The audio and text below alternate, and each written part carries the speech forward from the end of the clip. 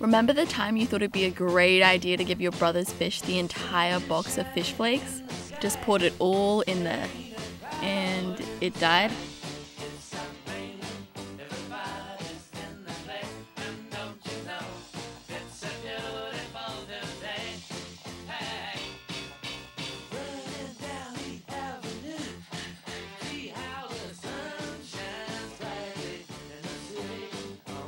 Didn't take him long to find out. You were busy burying it in its shallow grave when he came to you and was like, Have you seen Bubbles?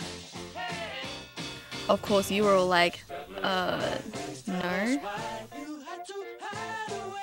He waited weeks for that fish to somehow find its way back into the bowl. It never did. Mum had to tell him Bubbles had met a ladyfish and had gone to start a family in Mallorca.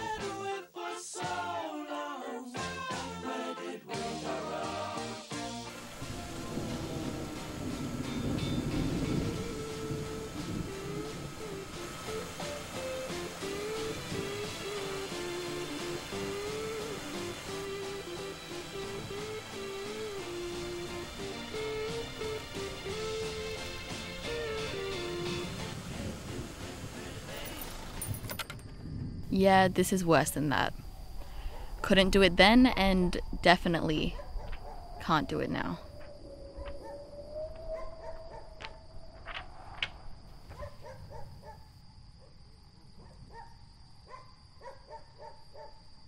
Mr. Squiggles, still here in spirit. How are you supposed to tell someone you ran over their dog?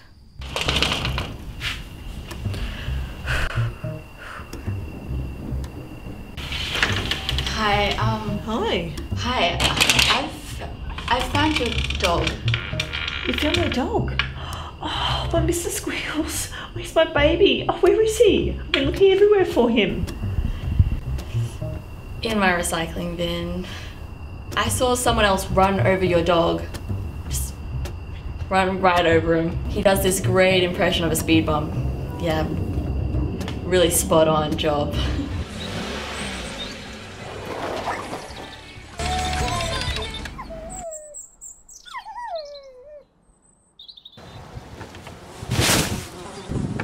Bloody Mr. Squiggles just had to get under my back wheel. He's the most privileged dog anyone's ever seen. Gets a gourmet meal made for him every night. Mrs. Coleman doesn't have kids, so she fusses over him instead. He saved a kid from drowning once. Got some award for it. I mean, really. Of all the dogs that could have walked across my driveway, it had to be the one with a Medal of Honor.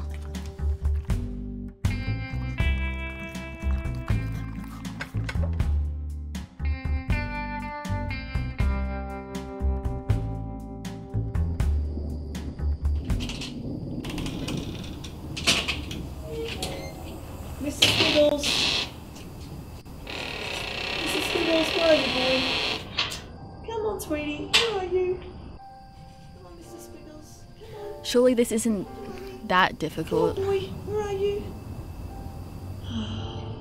You could just get out of the car and tell her. Where are you, boy?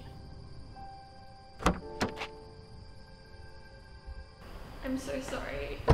Uh, I was driving at the back of my driveway and Mrs. Wiggles was there. I just hit her by accident. I'm so sorry.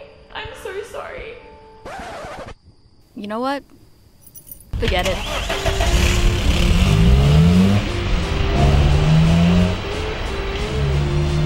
She'll never find out.